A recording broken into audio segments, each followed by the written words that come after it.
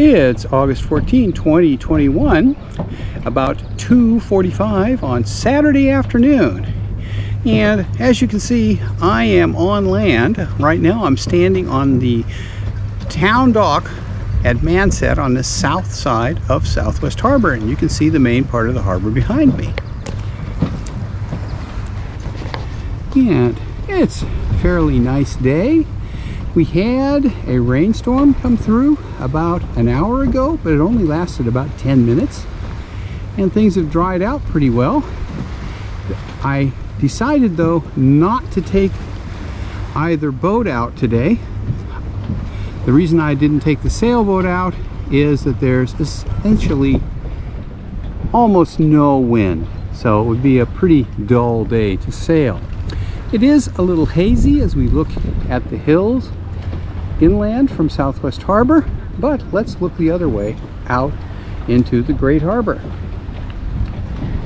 As we look over toward the entrance to Somes Sound, we can see something. Yes, that is fog across the entrance to Somes Sound.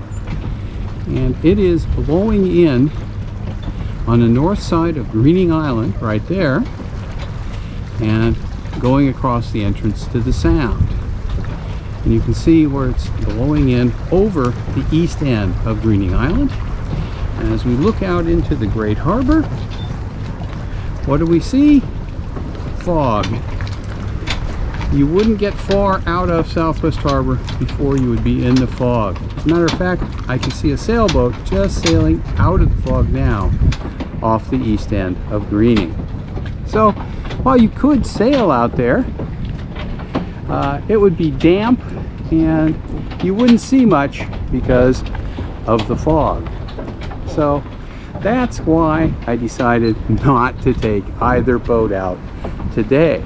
Although conditions would be ideal for my 1936 wooden powerboat Tortuga, except for the fact that I wouldn't be able to see anything.